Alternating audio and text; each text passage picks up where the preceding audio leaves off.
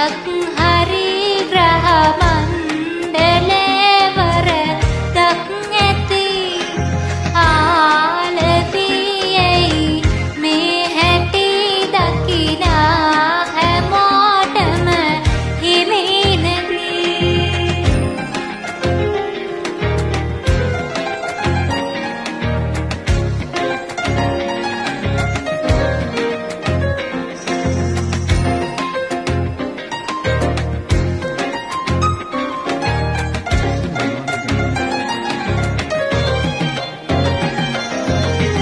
जीवते हरि लसन तन कट पा